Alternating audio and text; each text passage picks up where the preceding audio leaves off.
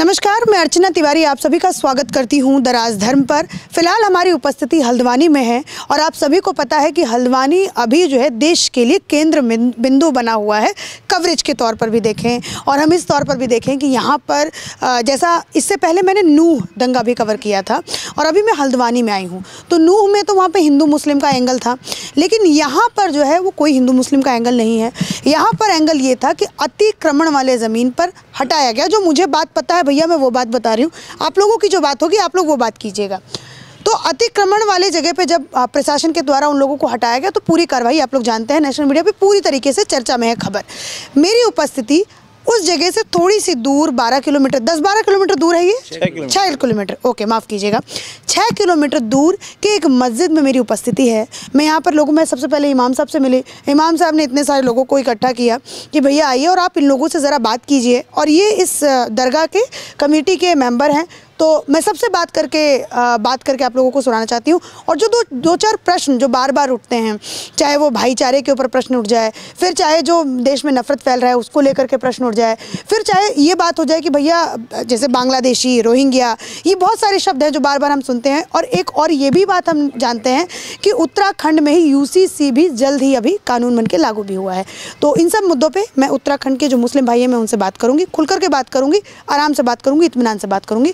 आशा करूँगी कि आप सबको हमारी बातें जो है पसंद आए। आप सभी का मेरे चैनल पर स्वागत है और ये सब ये इसी इलाके के रहने वाले हैं। मैं आपसे सबसे पहले बात करती हूँ। आपका नाम क्या है?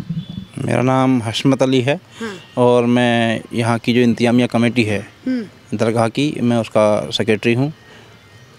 ठीक है। आप यहाँ के इंतज़ामिया कमेटी जो है दरगाह की उसकी आप सेक्रेटरी हैं। सबसे पहले तो मुझे आप ये बताइए जो हल्द्वानी हिंसा हुई हल्द्वानी ये जो इंसिडेंट हुआ इसके ऊपर आप क्या कहना चाहेंगे? देखिए इसके ऊपर कहने से पहले सबसे पहला अल्फाज यही है कि जो भी हुआ गलत हुआ। इसको किसी भी दशा में उचित नहीं ठहराया जा सकता लेकिन प्रशासन का फेलियर कहिए या इंटेलिजेंस इंटेलिजेंस का फेलियर कहिए कि आपने एक धर्म स्थल को हटाने के लिए जो जल्दबाजी दिखाई मामला सुप्रीम कोर्ट पहुँच चुका था सॉरी हाई कोर्ट पहुँच चुका था। हाई कोर्ट में इनके सरकारी वकील ने डेट ली कि हमें समय दिया जाए हमारे डीजीसी सिविल जो हैं वो सीनियर साहब वो है नहीं। तो उसके लिए हाई कोर्ट ने इनको चौदह तारीख का समय दिया। तो मुझे लगता है इनको चौदह तारीख का तक का वेट करना चाहिए था। ये इसलिए कि अगर हाई कोर्ट का जो भी डिसीज़न आता तो जैसे देखिए बाबरी मस्जिद के मामले में लब्बैक कहा सारे देश के मुसलमानों ने। कहीं भी विरोध नहीं हुआ कहीं भी कुछ नहीं हुआ। लब्बैक कहा और बात ख़त्म हो गई। इतना बड़ा मुद्दा सुप्रीम कोर्ट के हस्तक्षेप से ख़त्म हो गया। जी। तो इसी तरह अगर ऐसा किया जाता तो शायद ये जो हल्द्वानी में हुआ हल्द्वानी पे कलंक लगा। और लेकिन इस सबके बीच भी एक अच्छी बात मैं आपको बताऊँ कि उस क्षेत्र में हिंदू समाज भी रहता है और उनके मंदिर भी हैं। हमें भी एक डर था हम हालाँकि वहाँ से छः किलोमीटर दूर हैं। हमारे दिल में भी एक डर था कि कहीं ऐसा ना हो उपद्रवी जो उपद्रव मचा रहे हैं वो मंदिर को हताहत कर दें। और अगर ऐसा होता देखिए आतंकवाद का उग्रवाद का उर्दंगियों का कोई धर्म नहीं होता। इसलिए अगर वो ऐसा कर देते खुदा ना खास्ता तो फिर आग पूरे शहर पूरे देश में फैलती जिसका बहुत उल्टा असर पड़ता हमारे समाज पर भी। अगर बात की जाए कि मुस्लिम मुस्लिम समाज के लोगों ने पुलिस के संग बदतमीजी की है तो वही पुलिस पुलिस ये भी कहने को मजबूर है कि हमें बचाने वाले भी मुस्लिम ही थे जिन्होंने उनको अपने घरों में पनाह दी उनको पनाह दे के बचाया। वह भी वह भी मुस्लिम परिवार हैं उनकी भी तारीफ़ होनी चाहिए। बिल्कुल। उन पर भी बात होनी चाहिए। तभी मैं यहाँ पर नॉर्मल जो यहाँ पर जो उस उस जगह से दूर जो मुस्लिम रह रहे हैं मैं तभी आप लोगों के पास आई हूँ बातचीत करने के लिए भी। अच्छा आपने जो कहा अभी कि वहाँ पर जो है वो एक हल्द्वानी के ऊपर कलंक लगा। तो सबसे पहले इस कलंक के ऊपर क्या कहेंगे? मैं वही तो मैंने कहा ना कि प्रशासन को इतनी जल्दी देखिए पुलिस के एक अधिकारी का उनका नाम नहीं छपा था अखबार में हमने पढ़ा। उन्होंने भी ये कहा था कि इतनी जल्दबाजी में कार्रवाई करना उचित नहीं है इसका वेट किया जाए। क्या लगता है इतनी जल्दबाजी में सरकार ने ये कार्रवाई क्यों करी? क्योंकि मैंने जब प्रशासन से बात किया तो उन्होंने कहा कि हमने नोटिस भी भेजा था हमने एक बार और खाली करवाने का प्रयास किया था लेकिन कोई उधर से कुछ मिलता ही नहीं है हमें रिप्लाई ही नहीं मिलता तो आखिरी ऑप्शन यही था कि भैया अतिक्रमण को बलपूर्वक हटाया जाए। मैडम जहाँ तक मैं उनको डिफेंस आप कहीं ऐसा ना हो मेरे अल्फाजों से लोग ये समझे कि मैं उनको डिफेंस कर रहा हूँ। मेरा मकसद उनको डिफेंस करना नहीं है। नगर निगम ने उनको नोटिस दिया था। सुनवाई की थी। सुनवाई के बाद उस नोटिस को लेके ही वो हाईकोर्ट गए थे। अगर नोटिस दिया था नोटिस जब हाईकोर्ट पहुँच चुका था हाई कोर्ट सर्व- उत्तराखंड के सर्वोच्च है और उसका सम्मान करना सबकी ज़िम्मेदारी है। और ख़ास करके तब जब आपने समय लिया सरकार पक्ष सरकार पक्ष ने समय लिया कि हमें समय दिया जाए। अच्छा। तो अगर ऐसा था तो चौदह तक का वेट करना चाहिए था। और कलंक मैं इसलिए कहूँगा कि देखिए कहीं ना कहीं एक मुस्लिम समाज पे कितना बड़ा हल्द्वानी शहर में दाग लगा है कि जो है वहाँ पे पुलिस के संग बर्बरता की गई प्रशासन के संग बर्बरता की गई। आपने वो फ़ोटोज़ देखी जिसमें बुलडोज़र को जला दिया गया है? फिर जो है वो तमाम तरीके की जो फुटेज बाहर आ रही हैं कि भाई एक जो पुलिस कर्मी थी महिला पुलिसकर्मी थी वो पूरी तरीके से लहू लुहान हो रखी थी। वो कह रही थी कि मुझे तो बंद करके जलाने का भी कहीं ना कहीं प्रयास किया था। आप सबने वो फ़ोटोज़ वगैरह क्लिप्स वगैरह मैं देख? रहा था वाजपेयी जी का स्टेटमेंट आज अखबार में छपा है बनूरा थाने को जब फूका गया तो उनका भी बयान में पढ़ा था कि हमको जलाने का प्रयास किया है गया वाजपेयी जी से मैं व्यक्तिगत भी संपर्क में रहा हूँ और बहुत अच्छे अधिकारी हैं वो इस नेचर के अधिकारी नहीं रहे हैं।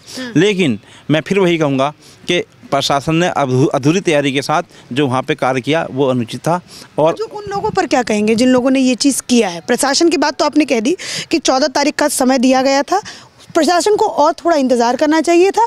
कोर्ट में फैसला था, वहाँ से जो भी बात होती, उसके बाद आके आपको कार्रवाई करनी चाहिए थी। ये आपने बात कही। मैं दूसरी बात पे कहना चाहूँगी, जिन लोगों ने किया, उनके लिए आप लोग क्या कहना चाहेंगे? आप उन्होंने भी सब्र के साथ काम लेना चाहिए था, क्योंकि मुसलमान का काम है इन अल्लाह मसाबरीन। अल्लाह सब्र करने वालों के साथ है, और अगर गलत होगा आपके साथ गलत होगा वह भी ईश्वर देख रहा है हमारे साथ गलत होगा वह भी ईश्वर देख रहा है और इसका फैसला एक दिन न्यायपूर्ण ज़रूर होगा। तो उन्हें सब्र करना चाहिए था सब्र से काम लेना चाहिए था। कोई बात नहीं इतने बड़े समाज को झोंक कर जो चंद लोगों ने ये हरकत की और या चंद लोगों की एक्टिविटी से जो ये समाज को पे दाग लगा ये एक ऐसा ऐसा समाज पे दाग लगा है? नहीं बिल्कुल मैडम इसमें कोई दो राय नहीं है कि समाज पे दाग लगा और ऐसा बदनमा दाग है कि शायद इसको धुलते धुलते सदियों लग जाए। बहुत बड़ी बात कह रहे हैं आप। बिल्कुल मैं बड़ी बात ही कह रहा हूँ। ये हल्द्वानी शहर के लिए इतना बड़ा कलंक है और कि ये धुलते धुलते सदियों लग जाएँगे कि हल्द्वानी में प्रशासन के साथ ऐसा हुआ। प्रशासन के साथ। और भी अगर मैं क्यों आपके बगल में खड़े होना आपको छोड़ के चले गए क्या आपके साथी? कहाँ गए? उधर चले गए वो। ठीक है मतलब बहुत सारे लोग कैमरे पे आने से भी डर रहे हैं क्योंकि यहाँ पे परिस्थिति वैसी हो। लोग ये भी सोच रहे हैं कि कुछ हमारे मुँह से निकल जाए बात कहने से कभी संकोच नहीं करना चाहिए। अपनी बात को पूरी ईमानदारी के साथ सबके सामने रखना चाहिए। मैं एक दो चैनल को देख रहा था जिन्होंने कहा इस बात को इस जो मैं कह रहा हूँ उस बात को उन्होंने भी कहा है। इंटेलिजेंस ने भी कहा कि हमने पाँच बार इनपुट दिया था कि वहाँ पर स्थिति भयावह हो सकती है। तो जब इंटेलिजेंस का जो इनपुट था पाँच बार का तो फिर इतनी हिला हवाली क्यों? इतनी जल्दी क्या थी उसको हटा उस नमाज़ स्थल को या मदरसे को हटाने की जो इतनी तुरंत तुरंत में एक फैसला लिया गया कि नहीं जी हटाना है? अरे आप पूरी तैयारी से जाते शायद ऐसी ऐसी बात ना हो पाती। तैयारी किस तरीके की तैयारी आप कह रहे हैं? जैसे जैसे कि जैसे कि फोर्स हमें फोर्स के पास रबड़ की गोलियाँ नहीं थी फोर्स कम थी ऐसे अनभिज्ञ लोगों को उस फोर्स में शामिल किया गया जिनके जिनको वहाँ के बारे में कुछ पता ही नहीं था वहाँ के माहौल के बारे में वहाँ के हालात के बारे में कुछ जानकारी नहीं थी। पुलिस के संग बहुत बुरा सलूक हुआ ये हमने देखा चैनलों पे भी देखा जो फुटेज वहाँ से जारी हुई उन पर भी देखा ये सब अच्छा नहीं है। ये सब अच्छा नहीं है। अच्छा ये जो आप कह रहे हैं कि माहौल बहुत ज़्यादा वहाँ का ख़राब क्योंकि वो जो इलाका है मैं देख के शायद पैंतालीस सौ वहाँ पर परिवार हैं और पचास हज़ार से भी ज़्यादा जनसंख्या है वहाँ पर। इतनी ज़्यादा जनसंख्या ज़्यादा मैं आपसे अगर थोड़ी सी बात करूँ आपके पास भी आती हूँ। सर तो जैसे वहाँ पे जनसंख्या इतनी ज़्यादा है तो लोग जैसे इन्होंने भी कहा कि बहुत ही ज़्यादा खतरनाक एक तरीके से वो इलाका है। तो ये खतरनाक कोई इलाका कैसे हो जाता है जहाँ पे जनसंख्या ज़्यादा होती है? खतरनाक इलाका तो नहीं है खैर खतरनाक बना दिया गया वहाँ को। कैसे? जैसे कि अब लोग कहते हैं कि मतलब जो है वहाँ नोटिस लगा हुआ था उस पर उसके बाद भी बगैर तैयारियाँ से वहाँ पहुँच जाना। इसको क्यों नहीं खतरनाक बोलते हैं? मुझे तो ये इन्होंने भी बात करते करते बताया कि इसको भी नोटिस है इस मस्जिद को भी नोटिस है। इसको- तो ये क्यों नहीं खतरनाक है? वो इलाका कैसे खतरनाक? है? वहाँ कुछ गौशाला जैसा जो है उन्होंने बुनियाद भी बनाई है भर दी गई है उसके लिए। वहाँ गौशाला बनाने का प्लान बनाया जा रहा है। वहाँ पर जो है तो खतरनाक किस वजह से होगा तो एक बस्ती के अंदर एक सभी को हटा के उसी को हटाया जा रहा है और जगह भी तो है वहाँ पर नजूल तो सभी है। वही नजूल ज़मीन पर अतिक्रमण क्यों? पचासियों साल से लोग रह रहे हैं वहाँ। अच्छा तो आप इस कार्रवाई पर क्या कहेंगे जो कार्रवाई हुई है उसके अब कार्रवाई क्या गलत तो हो ही रहा है अब जो है प्रशासन के साथ प्रशासन वहाँ पहुँच के वहाँ हंगामा हुआ। लोगों ने जो दंगा फसाद वहाँ करे गए हैं तो वो गलत तो हुआ ही है। दोनों तरफ़ से परेशानियाँ बढ़ी हुई हैं जनता के साथ हैं। और ये जो घटना हुई है उसके बाद आपके समाज पर क्या क्या असर पड़ा? है तो कि आज तक हल्द्वानी में कभी ऐसा हुआ ही नहीं जब से हल्द्वानी इतने सालों से आज पहली बार ऐसा हुआ है जो हल्द्वानी बदनाम हो रही है। आज हमारे वहाँ के कुछ लोग गए थे किधर वहाँ काम करने तो वहाँ दुकान उनने मुसलमान है करके तो उसको प्रशासन ने मारा भी और उसको बंद करा दी दुकान उसकी उन्हें हटे यहाँ से भाग जा करके। आग पास की सारी मार्केट है दुकानें खुली हुई थी। आप आप इधर आपका नाम क्या है? मेरा नाम- नफीस अहमद। क्या नफीस अहमद। नफीस अहमद। अच्छा पहले तो कार्रवाई पे क्या कहो? कितनी उम्र आपकी होगी? बीस इक्कीस साल? 20, 21 के बीस इक्कीस साल आप उम्र है आप नौजवान हैं अभी। तो ये जो इलाके में जो कार्रवाई हुई है सबसे पहले उस पर क्या बोलना चाहिए तो कार्रवाई जो हुई है अगर प्रशासन के साथ मतलब जो पुलिस प्रशासन के साथ हुआ है वो गलत हुआ है। लेकिन अभी इस कार्यवाही में ये हो रहा है कि जिसने किया है वो तो अपने सेफली निकल जाएँगे। लेकिन जो बेगुनाह है इसमें वो लोग ज़्यादा मारे जाएँगे। क्योंकि क्या होता है इसमें कहीं भी यही देख लो अगर कोई भी दंगा होता है तो बेगुना ही अक्सर फंसता है। और जो कसूरवार होता है वो निकल अब उन पचास हज़ारों में कैसे पता करें ये बेगुना कौन है? कि जैसे देखो कुछ है कि सीसीटीवी कि फुटेज भीड़ तो हमने ये देखा कि बहुत सारी भीड़ भाग रही है। सीसीटीवी फ़ोटोज़ चेक किए जा रहे हैं। जो जो उसमें है जो उसमें है तो उनके लिए जो देखो संविधान के हिसाब से जो उनके लिए सज़ा लागू होती है वो उसको उनकी मिलनी चाहिए। फिर दूसरी चीज़ ये है कि अगर अभी जो वहाँ परेशानियाँ हैं एक तो वहाँ पे कुछ सुनने में आ रहा है मैं गया नहीं हूँ ना मैं मौजूदा हालात पे वहाँ था। लेकिन सुनने में आ रहा है कि वहाँ मुस्लिम पक्ष को एक तरफ़ किया जा रहा है हिंदू मुस्लिम को मतलब हिंदू को निकाला जा रहा है जैसे घूमने के लिए आज़ादी दी जा रही है मुस्लिमों को को मतलब एक बंदिश दी जा रही है। तो वो चीज़ नहीं होनी चाहिए। आपने खुद से देखा ये चीज़? ये सुना है। मैंने मैंने शायद ये जो सुना वाली जो बात है शायद यही जो है अफवाह में बदलती है नहीं लगता आपको? हाँ? मैडम अफवाहें भी हैं लेकिन कई बार ऐसा हुआ है। जैसे इससे पहले भी छुटपुट घटनाएँ हुई तो उसमें कहीं ना कहीं प्रशासन एडवांस एक्टिविटी करते हुए दोनों समाज को अलग कर देता है। उसका सुरक्षा की दृष्टि से कह लीजिए या संवेदनशीलता को के को देखते हुए कह लीजिए ताकि दोनों समाज आपस में टकरा ना पाएँ। ये भी कारण हो सकता है इस सब के पीछे। कि दोनों समाज का आपस में अच्छा ये जो आप सोशल मीडिया वगैरह, आप लोग, मैं आप सभी के पास, क्योंकि बहुत लोग इकट्ठा थे, सभी लोग चले गए, आप थोड़ी से ही लोग बचे हैं तो मैं आप सभी लोगों से बात करूँगी। ये जो मतलब सोशल मीडिया वगैरह पे देखते होंगे कि भाई, आप लोगों में कट्टरता बहुत ज़्यादा है। मतलब सोशल मीडिया के ये मैंने भी कल वीडियो डाला था, उस इलाके में जैसे तैसे मैं पहुँची और मैंने वहाँ जाके वीडियो बनाया। तो मेरे कमेंट्स पर आप, मेरा चैनल बार बार पूछ रहे थे ना तो राजधर्म चैनल का नाम है। अभी जो रिसेंट वीडियो पड़ा, उसके कमेंट्स जाके आप पढ़िएगा।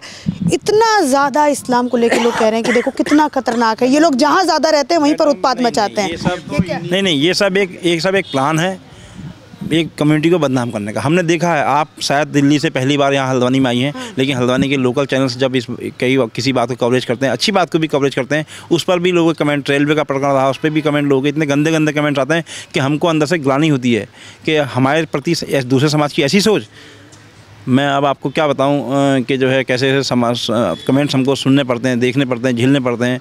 हालाँकि हमारा वो कमेंट्स वो सब चीज़ें होती है तो क्या आम बच्चों पर जैसे नौजवान है इन सब के ऊपर क्या असर पड़ता है? मैडम फिर वही बात होती है फिर क्रिया की प्रतिक्रिया होती है। क्रिया की प्रतिक्रिया होती है। फिर आदमी उत्तेजित होता है दूसरों को गवर्नमेंट पास करता है फिर वो एक विवाद का रूप लेता है फिर झगड़े का रूप लेता है और पुलिस उसी सबसे बचने के लिए बचाने के लिए दोनों समाज को अलग अलग करने का काम करती है। अच्छा। ये दो, दो आपसे अगर मैं पूछूँ जब आप ऐसे कमेंट्स पढ़ते हो जब आप लोगों के लिए कमेंट्स आते हैं कि देखो मैं अगर ब्लंट उसमें जाऊँ तो बोलते हैं पत्थरबाज भी लोग बोलते हैं बोलते हैं कि इनके घरों पे पत्थर कैसे तो क्या आप हंस रहे हैं बड़ा इस चीज़ पर? नहीं नहीं पत्थरबाज तो एक आम तरीका बता दिया है। कोई भी बात होती है तो पत्थरबाज कह देते हैं उनको। हाँ। एक आसान तरीका बता दिया गया है पत्थरबाज का तो।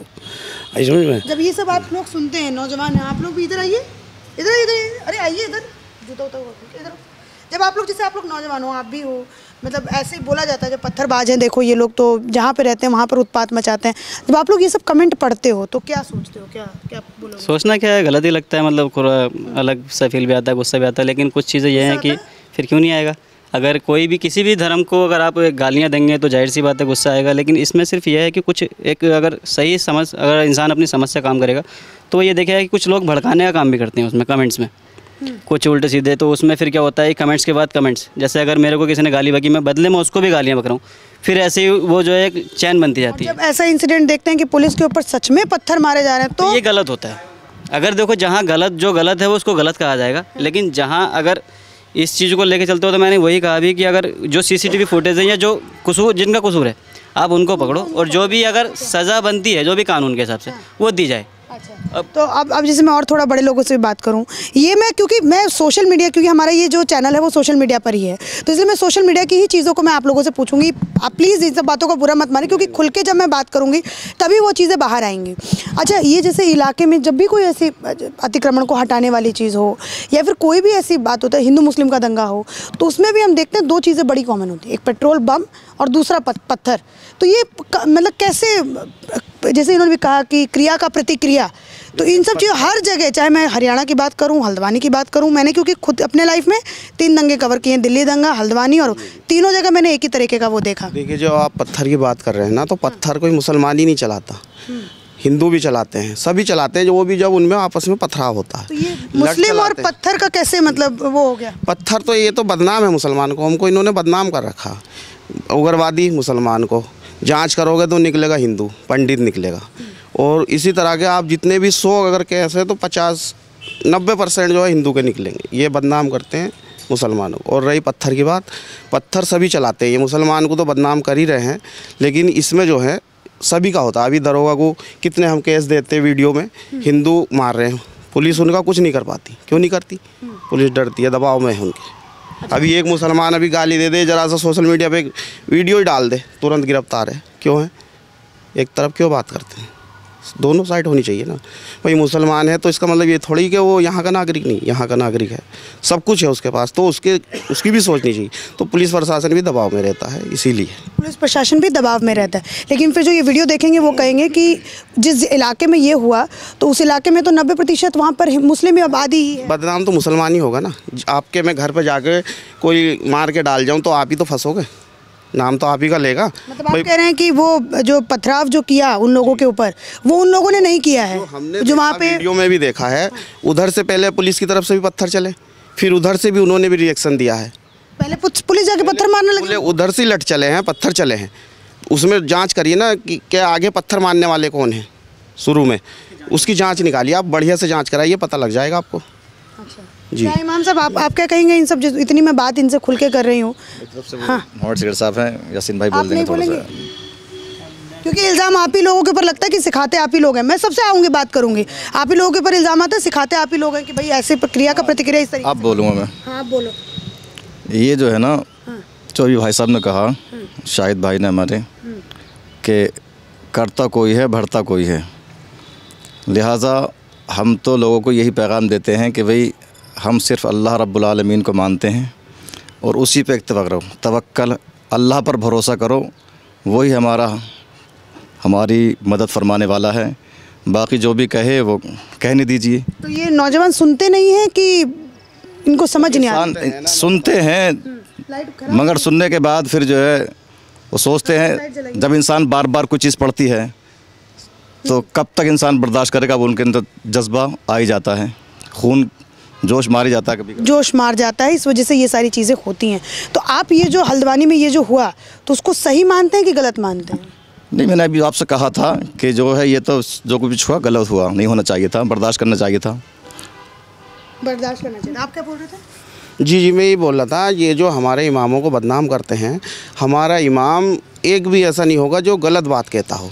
वो यही समझाते हैं अपनी कौम को कि भाई, सबका एहतराम करो, इज़्ज़त करो, खाने पीने का ख्याल रखो, कोई गरीब भूखा ना सो जाए, सबका पूरा ध्यान रखना। वो कभी किसी को गाली, पत्थरबाजी, ये कभी कोई इमाम नहीं सिखाता है। ये सब बदनाम करने वाली कहानी है, मन घड़त है ये सब। जी। अच्छा और मैं क्योंकि और मैं लोग सुन रही थी तो आप आप कुछ बोलना चाहते उसके बाद मैं अपना सवाल? हाँ मैं ये कहना चाह रहा था अभी आपके चैनल के माध्यम से मैं ये बात रखना चाहता हूँ कि जो उत्तराखंड के हालात पैदा किए गए डेमोक्रे डेमोक्रेसी के नाम पर। ये किए गए का किए गए का मैं बता रहा हूँ ना आपको उत्तराखंड में देखिए उत्तराखंड देवभूमि है और यहाँ पर बहुतायत में जंगल है। यहाँ पर पीर फकीर संत महात्मा जो भी रहे जंगलों में उन्हें प्रवास किया जंगलों में रहे जंगलों में साधना की और वहीं वो ब्रह्मलीन हो गए। और मुस्लिम समाज के अनुसार वो वहीं पे उनका देहांत हुआ और वहीं पे उनकी कबर बन गई जिसको मजार का रूप दिया गया। अब पर सरकार ने डेमोक्रेसी के नाम पर सीएम साहब का बयान में देख रहा था कि तीन हज़ार मज़ार हमने उत्तराखंड से के जंगलों से हटाए हैं तोड़े हैं शहीद किए हैं। हमारी तो जानकारी में नहीं है कि उत्तराखंड में तीन हज़ार मज़ारात रहे होंगे। मैंने तमाम आर टी आई स्केल लगाई, जो जिम्मेदार थे, उन्होंने जवाब नहीं दिया। आज तक जवाब नहीं दिया कि तीन हज़ार मज़ार कहाँ हटाए गए। हाँ ये जवाब ज़रूर आया कि जो एक मैं अफसोस के साथ कहना पड़ रहा है मुझे, और इसके लिए मैं क्षमा प्रार्थी हूँ सनातन धर्म का, कि हिंदू धर्म के बड़े बड़े मंदिर आज भी अपनी जगह वन भूमि में विराजमान हैं। और जो मुस्लिम समाज के धार्मिक स्थल थे, मज़ारात थी, उनको तोड़ दिया गया। सुबह अर्ली मॉर्निंग रात में तोड़ दिया गया। उनको डिफेंस करने का मौका नहीं दिया गया, उनको सुनवाई का मौका नहीं दिया गया। बिल्कुल उनके संग हरधर्मिता की बात की गई, उनके संग बदतमीजी की गई, बिल्डोजर चलाए गए हमारे बुज़ुर्गों की मज़ारात पर। तो देखिए, कहीं ना कहीं समाज में आक्रोश तो होता है। अगर आप ऐसे, आप एक तरफा कार्रवाई कीजिए मत कीजिए। आप सबके पर कार्रवाई कीजिए, हम आपके साथ हैं। अगर आपने काठगोदाम के सरकार से बाबा की मजार का नोटिस दिया हनुमानगढ़ी मंदिर का नोटिस दिया तो इसी क्षेत्र में तेरह चौदह और धार्मिक स्थल हैं। कालीचौड़ मंदिर है सूर्या देवी मंदिर है शीतला देवी मंदिर है भूमिया देवी मंदिर है ये तमाम मंदिर हैं जिनको कोई नोटिस नहीं दिया गया। और मेरे पास रिटर्न में आरटीआई में जवाब आया है जिसको कि मैं लेके मैंने आपसे कहा भी था अभी कि मैं जिसको लेके हाई कोर्ट जाऊँगा। हमने हाई कोर्ट में कहा भी अपने काउंटर में हम हमारा मामला फ़िलहाल हाई कोर्ट में विचाराधीन है। उसमें हमने कहा है इस बात को कि सरकार हमारे साथ भेदभावपूर्ण रवैया अपना रही है सिर्फ़ हमारे धार्मिक स्थलों को टारगेट किया जा रहा है। अच्छा जैसे इस म, इस मस्जिद को नोटिस है क्या बगल वाली को है? नहीं है। लेकिन लेकिन लेकिन दूसरी बात ये ना उसके अलावा और भी तो चौदह हैं उनको क्यों नहीं है? और हमारे हमारे वाले केस में सुनवाई हो गई अपील भी खारिज हो गई हम हाई कोर्ट तक पहुँच गए और वहाँ पर अभी तक केस पेंडिंग है। वहाँ कोई जवाब नहीं आया अभी तक कोई निर्णय नहीं उसमें। तो ये अपने आप में दर्शाता है कि किस तरीके से कार्रवाई कैसे हो रही है। तो इसमें हमें हीन भावना होती है ज़ाहिर सी बात है होगी भी कि हमारे धर्म के धार्मिक स्थलों को टारगेट किया जाएगा उनको नस्तनाबूद किया जाएगा उनको शहीद किया जाएगा तो बताइए हमारे ऊपर क्या बीतेगी। क्या बीतेगी? सही बात है। दुख और आप, आग- आप एक तरफ़ की कार्रवाई करें क्योंकि इनका मानना है कि कार्रवाई क्योंकि ये लोग उत्तराखंड के रहने वाले हैं। मैं नहीं हूँ। मैं आप रहे नहीं हैं लेकिन आपके चैनल के माध्यम से पूरे देश ये बात सुनेगा। सुनो मैं बिल्कुल एज इट इज़ सुनेगा। मैं चाहता हूँ आप ऐसे सुनाए। अगर किसी को मेरी बात झूठ लगती है तो आप मैंने एड्रेस दिया कि मैं दरगाह लियाबा उत्तराखंड नैनीताल में है जिसका मैं मैनेजमेंट कमेटी का सेक्रेटरी हूँ वो मुझ पर केस करे। अगर मेरा झूठ हूँ तो। या मुझसे मुझसे सवाल करे कि आप एविडेंस दिखाइए मैं उनको एविडेंस दिखाऊँगा कि मैं सच बोल रहा हूँ झूठ बोल रहा हूँ। उत्तराखंड में कार्रवाई एक तरफा हुई है या नहीं हुई है? बड़े बड़े मंदिरों को डिफेंस किया जा रहा है नहीं किया जा रहा है? उन्हें सपोर्ट किया जा रहा है और हमें डिमोलाइज किया जा रहा है ये ये उचित नहीं है। ये उचित नहीं। चलिए ये तो मैंने सोशल मीडिया की सारी बातों पर बात कर ली। अब मुझे एक बात बताइए अभी अभी यहाँ पर यूसीसी कानून जो है वो पास हुआ तो इस पर आप जो मुसलमान हैं उत्तराखंड के क्या कहेंगे इस पर? देखिए मुसलमान कुरान और हदीस को सर्वोपरि रखता है। कानून को नहीं? नहीं नहीं आप मेरी पूरी बात होने दीजिए। आपने आप बीच में मत टोकिए। पहले सवाल पूरा आपने कर दिया आप हमारा जवाब भी पूरा सुन लीजिए नहीं नहीं फुल स्टॉप नहीं। लेकिन कुरान उसी कुरान में शिक्षा दी गई है कि देश के हुकूमत के कानून का पालन करो। तो अब सर्वोपरि क्या हुआ? कानून। कानून हुआ ना? जहाँ तक यूसीसी का सवाल है तो आप मेरी बहन हैं। क्या आपको लगता है कि ये, ये उन्होंने यूनिफॉर्म सिविल कोड के नाम पर जो लिव इन रिलेशनशिप को वैलिड किया है? अवैध संतान को हिस्सा देने के नाम पर प्रमोट किया है क्या ये उचित है? मेरे सवाल का आत्मंथन कीजिएगा। लिविंग रिलेशनशिप को बोला है कि आप उसमें रजिस्टर करवाएँगे ताकि क्योंकि मैंने भी कुछ थोड़ा सा पढ़ा है तो मैं आपको मैं अपनी भी बात रख देती हूँ। मेरी बातों पे भी फुल स्टॉप नहीं लगा मैं अभी और अपनी बात आगे तो मैं अपनी आगे बात बोल रही हूँ। लिविंग रिलेशनशिप में कई सारे क्योंकि हम लोग दिल्ली में रहते हैं तो बहुत सारे हम लोग ऐसे केसेस देखते हैं कि दो पार्टनर हैं वो अगर एक पार्टनर है अगर दोनों इकट्ठे रह रहे हैं दो लोग, कपल।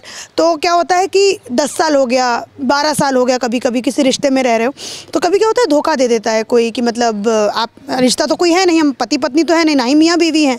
अगर वो इस्लाम को मानते हैं तो मियाँ बीवी नहीं है, अगर वो हिंदू धर्म को मानते हैं तो पति पत्नी नहीं है। तो हम लोग इकट्ठे नहीं, आगे जाके उनके पास कोर्ट में जाने के लिए कोई कानून नहीं होता है।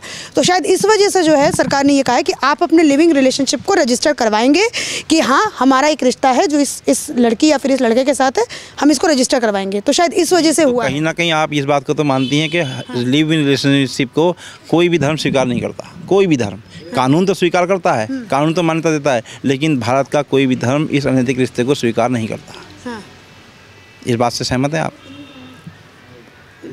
तो आपकी नहीं, नहीं, आज कोई भी धर्म। इस पर कुछ नहीं मैं बोलूँगी आप चलिए आप मत बोलिए लेकिन हमने जहाँ तक नोट किया है जहाँ तक पढ़ा है तो ये एक रिश्ता उचित नहीं है। लेकिन हाँ आपका जो कहना है कि कोर्ट इसमें कोर्ट जाने का रास्ता नहीं था नहीं ये भी कहना गलत है। तमाम आपने भी मामले देखे होंगे तमाम हमने भी देखे होंगे। हाँ प्रक्रिया कुछ लंबी हो जाती है उसके लिए लेकिन तमाम कोर्ट के दरवाजे खुले हैं तमाम जगह से न्याय मिलता है। क्या मुस्लिम पर्सनल लॉ बोर्ड के खिलाफ लोग कोर्ट नहीं गए? मुस्लिम समाज के लोग गए उन्हें न्याय भी मिला। तीन तलाक के विरुद्ध जो केस अब कानून बना दिया कि सबके लेके जैसा कानून होगा तो इसमें दिक्कत क्या है? दिक्कत है मैडम। दिक्कत है? कुरान तो दिक्कत है। कुरान के खिलाफ देखिए आज से पहले महिलाओं के लिए इस्लाम में एक कानूनी रूप से राइट था प्रॉपर्टी का। आज भी है और रहेगा। कुरान में कहा गया है कि महिला का हिस्सा अपने उसके पिताजी की भी प्रॉपर्टी में रहता है जो रहेगा। मर्द से आधा मर्द से आधा। शादी पर। शादी पर आप नबी करीम सल्लल्लाहु अलैहि वसल्लम ने खुद तीन तलाक को मना फरमाया। जब तीन तलाक को मना फरमाया तो ज़ाहिर सी बात है वो उचित नहीं है। उस पर कानून बनाया कोई बात नहीं विरोध तो नहीं हुआ ना एक्सेप्ट किया। फिर उसके बाद अब आइए आप हलाला पे। हमारे यहाँ इस्लाम में पूरी आज़ादी महिला को दी गई है कि निकाह के वक्त निकाह हमारे यहाँ कॉन्ट्रैक्ट है। हाँ कॉन्ट्रैक्ट के मुताबिक महिला की सहमति के बाद ही निकाह होता है। अब अगर उसको किसी वजह से उसके उसका निकाह टूट गया या वो अपने आदमी से अलग हो गई या तीन तलाक के माध्यम से ही अलग हुई मान लीजिए वो सज़ा देगा कोर्ट एक न्यायपालिका सज़ा देगी अलग बात है लेकिन वो अलग तो हो गई ना उसके बाद अब प्रक्रिया ही हलालेगी हलाला प्रक्रिया उस पर बाउंड नहीं है। हमारे यहाँ कोई कुछ जाहिल तबका है जो हलाला की प्रक्रिया से किसी को ज़बरदस्ती गुजारता है। जबकि वो पूर्ण पूर्णतः स्वेच्छा से अपनाने वाली प्रक्रिया है। अगर महिला को लगता है कि नहीं मुझे नहीं करना है देखिए ज़बरदस्ती मैंने कहा ना कौन निकाह है कॉन्ट्रैक्ट है जिसको ज़बरदस्ती नहीं किया जा सकता। सब कुछ ठीक है तो यूसीसी पे विरोध कैसा फिर? नहीं विरोध कौन कर रहा है? किसने किया? सहमति है ना? नहीं नहीं मैडम आप बताइए नहीं सहमति नहीं है लेकिन विरोध भी तो नहीं किया। क्योंकि क्या हम ही इफेक्टेड हैं? हम ही विरोध करके झंडा लेके आगे कूदेंगे नहीं साहब हाय हाय हाय हाय। इसमें एक शाहीन बाग जैसा कोई प्रदर्शन देखने को नहीं मिलेगा ना उत्तराखंड में? बिल्कुल नहीं मिलेगा। आप देखिएगा आने वाले समय में भी आप देखिएगा कोई विरोध प्रदर्शन नहीं होगा इसमें। या फिर धामी साहब का ये जो नया नया वाला एक्शन है रूप है योगी जी महाराज वाला उसकी वजह से नहीं मिलेगा? मैडम ऐसा कुछ नहीं है। अगर ऐसा होता तो हल्द्वानी में ये ये प्रतिक्रिया नहीं होती। अगर ये ना बात मुसलमान किसी से नहीं डरता। अगर ये खौफ होता मुसलमान के दिल में अल्लाह के सिवा देखिए मैं फिर कहूँगा मुसलमान अल्लाह के सिवा किसी नहीं डरता। और अल्लाह ने कहा है कि जिस देश में रहो उस देश के कानून का पालन करो। कानून का पालन तो अल्लाह के आदेश को मानना सर्वोपरि है लेकिन अल्लाह के आदेश को पूर्णतया मानना पड़ेगा तब हम और आप सही से रह पाएँगे। लोग हमें अच्छा कहेंगे। कुरान में जो कहा उसका पालन करो ना। बिल्कुल। तो ये जो है हमारी इन लोगों से बातचीत कितने मिनट का हुआ आशुतोष? 25 मिनट की मेरी इन लोगों से बातचीत हुई। मैंने हर मुद्दे पर बात किया, चाहे वो पत्थरबाजी पर बात कर लीजिए या फिर आप दंगों के ऊपर बात कर लीजिए। हाँ दंगों पर मेरा रह गया बात, मैं थोड़ा आपसे बात कर लेती हूँ। ये जैसे मैंने बहुत सारी जगह ये देखा है कि जहाँ पर, और ये सोशल मीडिया पर आप लोग भी देखते होंगे, आप लोग तमाम लोग मीडिया देखते, सोशल मीडिया देखते होंगे। कहते हैं कि जनसंख्या जहाँ पचास से ऊपर हो जाए, पचास प्रतिशत से ऊपर, वहाँ पर तो समझो जो दूसरे समुदाय का जो लोग है उसको दिक्कत आनी ही आनी शुरू हो जाती है। चाहे आप कश्मीर का वो ले लीजिए चाहे आप नूह का ले लीजिए एग्ज़ाम्पल चाहे आप कहीं का भी ले लीजिए। जी। हाँ क्या कहेंगे इस पर? नहीं तो हमारे वहाँ आज तक हिंदू मुस्लिम का तो ऐसा कोई मसला ही आपस में नहीं हुआ था कभी। ये जो भी कुछ हुआ। है ना यहाँ पर लेकिन ये मैं बात ओवरऑल पूछ रही हूँ आपसे कि जहाँ जनसंख्या ज़्यादा हो जाती है इस्लाम धर्म को मानने वाले मज़हब को मानने वाले लोगों की वहाँ पर दिक्कत परेशानी आनी शुरू हो जाती है। देखिए मैडम इसका एक कारण बड़ा कारण बेरोजगारी और अशिक्षा। अच्छा। क्यों? क्योंकि जब उन्होंने कुरान ही नहीं पढ़ा उन्होंने वैसे दीनी ता- तालीम नहीं ली दुनियावी तालीम नहीं ली तो उनको उनको अच्छी बुरे की तमीज़ होना मतलब लगता है कम होगा। अब उसके बाद रहा दंगा भड़काना या भड़कना अब मान लीजिए आप मेरे से बदतमीजी करें अगर मेरे में सहनशीलता है मैं शिक्षित हूँ तो मैं आपकी बात को इग्नोर भी कर सकता हूँ। तो मतलब इस्लाम में बहुत ज़्यादा पढ़ाई की कमी है साक्षरता की कमी है इस वजह से जो है ये चीज़ें होती हैं। बिल्कुल मैं बिल्कुल इसकी बुनियाद ही यही है शिक्षा। और दीनी तालीम की दोनों बातें हैं। दुनियावी तालीम और दीनी तालीम की कमी होने की वजह से ही ये सब हरकतें होती हैं। टायर वाले पंचर वाले आप देखेंगे हमें अमूमन जो है मुस्लिम समाज को ही से ही रिलेटेड होते हैं। तो वो क्या होता है जब शिक्षा नहीं है तो परिवार के मुखिया को पता ही नहीं कि मैंने मुझे अपना परिवार कैसे मैनेज करना है उसको कैसे शिक्षा देनी है। जब ऐसा होगा तो ज़ाहिर सी बात है शिक्षित आदमी जाहिलों में बैठेगा जाहिल जैसे काम करेगा। जाहिल जैसा काम करेगा। तो आपकी शिक्षा क्या है? कितना पढ़े लिखे हैं? इंटर। इंटर? क्या काम करते हैं? मैं कारपेंटर कारपेंटर आप? मैं इलेक्ट्रिशियन इलेक्ट्रिशियन कितना पढ़े हाई स्कूल हाई स्कूल बारहवीं तक। आप? टेंथ ठीक है। मैं हाफिज़ हूँ। हाफिज़? क्या काम होता है फिफ्थ क्लास हाफिज़ कुरान हिफ्ज़ करना। जो कुरान को पूरा बगैर देखे याद कर लेता है वो हाफिज़ हो जाता है। अच्छा आप कितना पढ़े हैं? फिफ्थ तो पढ़ाई की थी उसके बाद छूट गई थी हिफ्ज़ के चक्कर में तो आप आगे करेंगे इंशाल्लाह। अब हिफ्ज़ की पढ़ाई नहीं बढ़ गई तो आगे और पढ़ाई करेंगे तो उसके साथ में आगे कर लेंगे। आप पाँचवीं तक पढ़े हैं बस? हाँ। आगे क्यों नहीं पढ़े? आगे पढ़ लेंगे अभी हिफ्ज़ के चक्कर में ज़्यादा लोड पड़े? हम्म, सत्रह साल है सोलह सत्रह साल। अभी भी हिम्मत है आगे पढ़ने की छठी में जाके एडमिशन लेने की? पढ़ लेंगे इंशाल्लाह। सत्रह साल। अच्छा क्या है हाफिज़ क्या बच्चों को पढ़ाते हैं आप छोटे बच्चों को? बच्चों को पढ़ाते हैं अपनी पढ़ते हैं पढ़ाई करते हैं हिफ्ज़ हो गया कुरान पाक पूरा बनाए देखे याद कर लिया अल्लाह करम से। अच्छा आप इधर जैसे ये बच्चा है ये सत्रह साल का है और ये पाँचवीं तक पढ़ा हुआ है। तो जो आपने बात कही कि वो जो उग्रवाद हो गया या फिर जो भी आपने कहा कि मैंने जो सवाल आपसे किया था कारण होता है शिक्षा क्योंकि अशिक्षित होते हैं तो इस वजह से होते हैं। तो क्या लगता है ये बच्चा उस तरफ़ जाने का इसका पूरा पूरा अगर ये गलत संगत में बैठता है अगर ये उन लोगों के साथ बैठता है तो ये वैसी हरकतें ये कर सकता है? अभी इन्होंने आपसे कहा कि कुरान हिफ्ज़ हैं यानी इन्होंने कुरान इनको कुरान कठन से याद है। अगर इन्होंने कुरान की शिक्षा को बिल्कुल दिल से ग्रहण किया होगा उसको पढ़ा होगा तो मेरा 200 परसेंट नहीं हज़ार एक हज़ार परसेंट दावा है कि ये गलत एक परसेंट भी हो ही नहीं सकते क्योंकि कुरान किसी को गलत शिक्षा नहीं देता। अच्छा। कुरान पे तमाम रिसर्च हुए हैं हाँ। तमाम थोड़ा मैं दो चार सवाल आपसे पूछ लेती हूँ। अच्छा अब ये जो हल्द्वानी वाला जो इंसिडेंट हुआ इस पर आपने मोबाइल होगा आपके पास? जी मोबाइल देखा आपने उसमें? ठीक है तो क्या आपने उसमें पाया? क्या कहेंगे आप उस घटना पर? कहेंगे क्या अभी दो तीन दिन से तो नेट बंद कर दिया था जो आने वाली जो न्यूज़ थी। तो खुल गया है यहाँ तो थोड़ी आज यही बंद हुआ था यहीं अभी सुबह ही खुला है। कोई न्यूज़ पता नहीं चल रही थी क्या हुआ। हाँ। जो भी हमारे रिश्तेदार रहते हैं वो यही बता रहे थे कि पुलिस घूम रही है आ रही जाइए घर से निकाल के मार दे रहे हैं ये वो बस यही सुन रहे थे। किसी को बाहर निकलने नहीं दे रहे हैं लोग गरीब लोग खा रहे हैं पी रहे हैं पता नहीं क्या कर रहे हैं कुछ पता नहीं चल रहा उधर का। अच्छा ये जो अतिक्रमण को हटाने पर वहाँ पर कार्रवाई हुई पुलिस वालों के ऊपर पत्थर वत्थर फेंके गए हैं? पेट्रोल बम फेंके गए फिर उसके बाद लोगों को थाना जलाने के पूरा पूरा प्रयास हुआ बुलडोज़र को जला दिया गया क्या कहोगे इस पर? इस पर इतने सब लोग कह चुके हैं मैं क्या कहूँगा? मैं तभी से मैं आके आपसे बात कर रही हूँ ना नौजवान हो आप। ये गलत ही हुआ है क्या होना चाहिए था सही सब्र से काम लेना चाहिए था सबको। सब्र से क्या होना चाहिए था आपके हिसाब से? न्याय होना चाहिए था सब कानून के हिसाब से चलना चाहिए सब कुछ। और जो कानून के सही तरीके से करना चाहिए था काम अपना। कानून को भी सही तरीके सही तरीके से जाँच करके सही तरह से न्याय करना चाहिए था ऐसे तोड़ ताड़ कर दिया एकदम से नहीं होना चाहिए था ये सब। एकदम से नहीं होना चाहिए। अगर आप वहाँ पर होते तो आप क्या करते? सब्र करते अल्लाह की अल्लाह की मर्ज़ी जो होता। घर में बैठ के ऐसे सब्र कर लेते कि आप भी दुआ करते हैं अल्लाह से। हाँ। कोई लड़ने नहीं कूद जाते उनकी तरह। लड़ने नहीं कूदते। और जो लड़ने कूदे उनको क्या बोलोगे आप? वो गलत है लड़ने नहीं कूदना चाहिए था उन्हें। कोर्ट में जाना चाहिए था कार्रवाई करनी चाहिए थी ऐसे कोई ऐसे नहीं करना चाहिए था उन्हें। गलत। ठीक। है तो ये मैं ये कुरान की शिक्षा है। तो साथ में ये भी कह रहे हैं कि अ, कानून ने जो किया वो भी गलत कह रहा है। ये भी कह रहे हैं साथ में। तो क्या पता ये माइक के सामने ये बात कह रहे हों और उस समय कोई बात हाँ। ठीक है। तो ये मेरी बातचीत जो थी वो यहाँ के लोगों से बातचीत हुई। और आपने देखा कि यहाँ का जो आम मुसलमान है वो परेशान भी है। एक तरीके से इन्होंने मुझे बताया कि यहाँ पर नोटिस भी क्यों- चूँकि यहाँ पर जंगल का इलाका है तो ज़्यादातर जो यहाँ पर आप मंदिर देखेंगे मस्जिद सारे तो ऐसे नहीं होंगे। किसी किसी में ही नोटिस होगा किसी किसी हाँ। लगभग उत्तराखंड के अंदर अगर देखा जाए तो आबादी से बाहर जंगलों के एरिए में लगभग लगभग फिफ्टी परसेंट से ऊपर तो धार्मिक स्थल हैं। धार्मिक स्थल मैंने यूँ कहा क्योंकि वो सभी के हैं। वो हिंदू समाज के भी हैं वो मुस्लिम समाज के भी हैं वो ईसाई समाज के भी हैं। सिख समाज का तो शायद नहीं है बाकी तीनों समुदाय के सिख समुदाय के एकाध हैं और हिंदू और मुसलमानों के बहुत आयत में हैं। बहुत आयत में हैं। तो यहाँ पर मैंने आपको वहाँ से उस घटनास्थल से थोड़ा सा दूर हट करके मैंने आपको यहाँ की पूरी बातचीत दिखाई है। इसके साथ धन्यवाद।